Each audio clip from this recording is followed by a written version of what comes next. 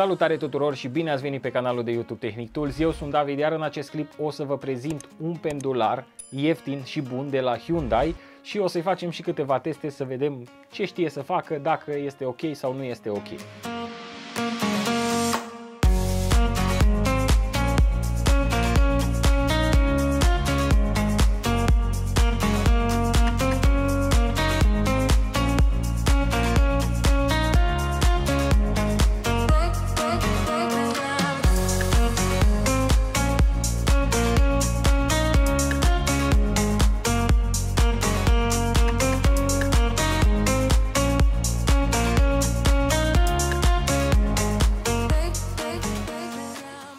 Acum ceva timp am făcut o postare pe pagina mea de Facebook și pe grupul pasionaților de unelte în care am întrebat dacă urmăritorii ar vrea să vadă acest pendular de la Hyundai. Știu că nu este o marcă foarte cunoscută, știu că nu este un super brand sau ceva de genul acesta, dar este un pendular pe care eu îl consider foarte bun pentru prețul pe care îl are, costă aproximativ sub 300 de lei, undeva atâta era oferta pe atelierul tău.ro. Acest clip este făcut cu sprijinul atelierul tău.ro.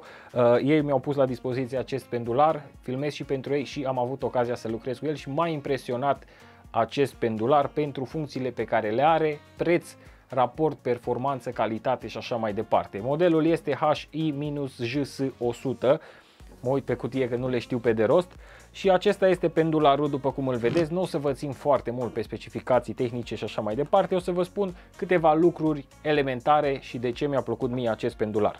În primul și în primul rând, așa cum îl vedeți, este dotat cu un motor de 750 de W, ce dezvoltă între 800 și 3000 de curse în gol cu o cursă a pânzei de 26 de mm, deci am zis între pentru că în partea de sus pe mâner se regăsește și un variator de turații.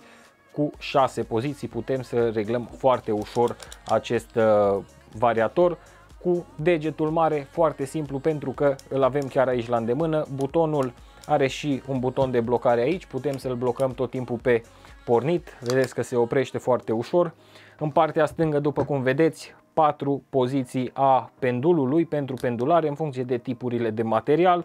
Foarte ok și acest uh, uh, reglaj. În partea dreaptă, un alt reglaj pentru activarea sau dezactivarea suflantei. Are suflantă activă, curăță linia ca să vedem pe unde mergem cu pânza. Un alt plus, reglajul pentru unghiul de tăiere se face fără cheie, pur și simplu tragem de acest buton, de fapt îl împingem așa și putem să modificăm poziția talpei în orice poziție la unghiul pe care avem nevoie. Are aici presetat unghiul de 45 de grade stânga-dreapta, 0 grade și îl putem seta și pe uh, alte unghiuri dacă avem nevoie. Pur și simplu împingem clapeta înapoi și el s-a blocat, talpa stă foarte fixă. Talpa este din dur aluminiu sau magneziu, nu știu exact, dar are în partea de jos o inserție din metal ca să reziste mai bine la uzură. Vine în set cu două pânze, una pentru metal și una pentru lemn și cu un limitator sau un ghidaj putem să-l numim, care se poate monta stânga-dreapta, chestiile simple. Pânzele se montează tot așa fără cheie, pur și simplu tragem de partea din față, după cum vedeți, introducem pânza aici și ea este blocată, a durat o secundă, la fel când o scoatem ați văzut ca și sărit. Este dotat și cu lumină de lucru, are un LED aici în partea din față, care luminează zona și cam atât. Nu are motor brushless, cablu, nici nu știu, 2 metri, scrie chiar aici pe cutie, adâncim de tăiere recomandate de producător, 100 de mm în lemn, 10 mm în metal, lungime cursă 26 de mm după cum am spus și vine livrat chiar în această cutie de carton. Și cam ăsta e pendularul. Scrieți-mi și voi în secțiunea de comentarii cum vi se pare. Facem o recapitulare scurtă. Avem pe un pendular sub 300 de lei, un motor de 750 de W, destul de puternic, se duce până în 3000 de pendulări pe minut, are variator de turație, are suflantă, are talpă din magneziu, mutările, schimbările, înlocuirile de accesorii se fac fără cheie, foarte repede, 4 poziții de pendulare, lumină de lucru și funcționează bine. Dacă nici ăsta nu are un raport bun calitate-preț, nu știu care mai are, dacă mai cunoașteți vreun model cu asemenea specificații în jurul prețului de 300 de lei, nu știu dacă a crescut între timp sau nu, dar oricum ă, sub 400 o să fie 100%, mâner frumos îmbrăcat în silicon și o să vă las în minutele următoare să vedeți și cum se descurcă la teste.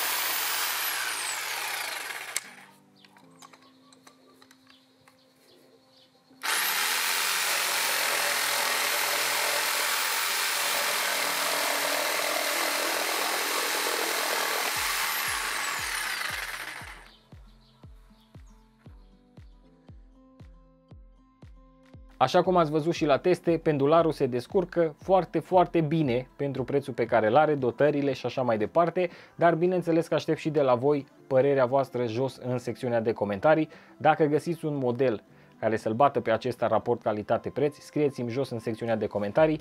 Bineînțeles că nu este destinat utilizării super profesionale și așa mai departe. Este un pendular simplu din gama hobby care poate să facă foarte multe la un preț accesibil și m-am gândit că ar fi foarte de folos pentru voi să-l vedeți și să știți că există și acest model.